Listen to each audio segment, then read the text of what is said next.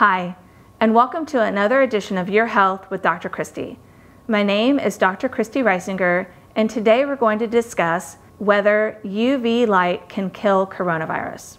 Ultraviolet light, or UV light, has long been used as a way to kill viruses and bacteria, but conventional disinfecting UV light is known to cause skin cancer and cataracts.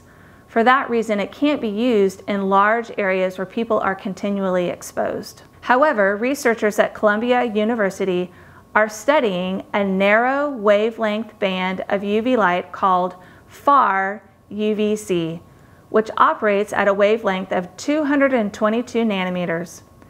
Conventional UV light, the one that I mentioned before, operates at wavelengths of 254 nanometers and up. Normally, far UVC light and UVC light in general does not hit the Earth's atmosphere because it's blocked by the ozone layer. The UVA and UVB are the ultraviolet rays that da damage skin and cause cataracts and skin cancer, and those are the rays that reach the Earth's atmosphere from the sun. Far UVC light has been shown to kill influenza and drug resistant bacteria. I'll place a link in the description if you'd like to read more about it.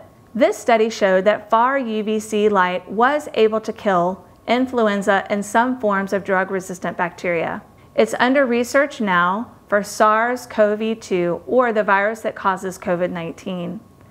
It's currently not FDA approved, but likely will be on the market in several months. This could be a great way for large areas to disinfect against SARS CoV 2 because instead of treating patients that have contracted coronavirus or SARS CoV 2, we could kill this virus before it even enters the system by exposing it to this far UVC light. The great thing about the far UVC light is that it doesn't damage skin cells, so it potentially is very, very safe. As I mentioned, that it's not FDA approved yet, but we're hopeful that it will be in the next few months. I should say that I don't have any financial ties to far UVC light used to combat coronavirus.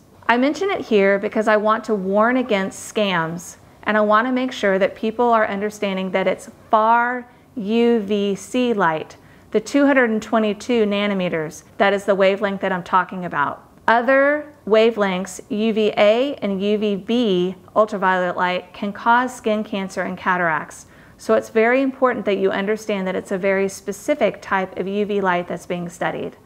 But I'm excited for the potential, and I think it could open up large spaces because it could kill viruses and bacteria in large arenas where disinfecting with topical disinfectants just isn't feasible. Thanks again for joining me.